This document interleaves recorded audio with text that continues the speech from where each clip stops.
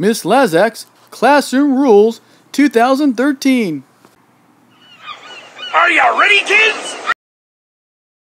Uh, uh, no. I can hear you. Yeah.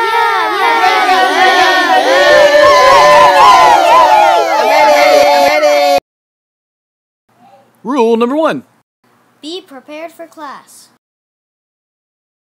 Bring books. Bring pencils. Bring pens.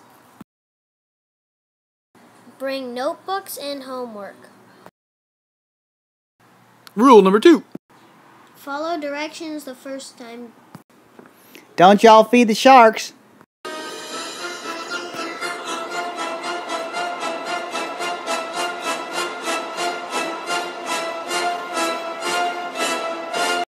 Rule number three.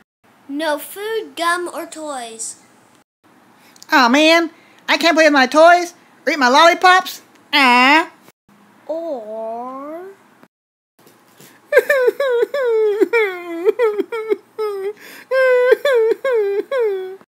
Rule number four.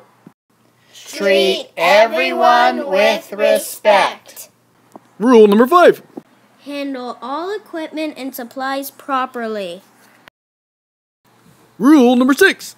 Keep your hands, keep your feet, and keep your objects to yourself.